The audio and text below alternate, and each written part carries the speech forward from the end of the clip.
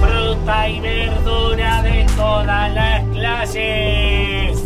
500 pepinos, zanahorias. Un vendedor ambulante al final es un servicio en los pueblos que yo considero bastante importante, que los pueblos ojalá hubiese de todo, hubiese panaderos, carniceros, fruteros. Madrugo normalmente bastante, saco de la cámara lo de la fruta y la verdura y coloco, preparo y a salir a vender, a hacer las rutas que se hacen cada día. Sabes más o menos dónde vas a parar, dónde vas a atender, te puede fallar alguno, porque siempre falla alguien, y más en este tiempo que hay de los huertos, hay un poco de, de todo. Alberto para mí es excepcional, ya lo ve, fenómeno.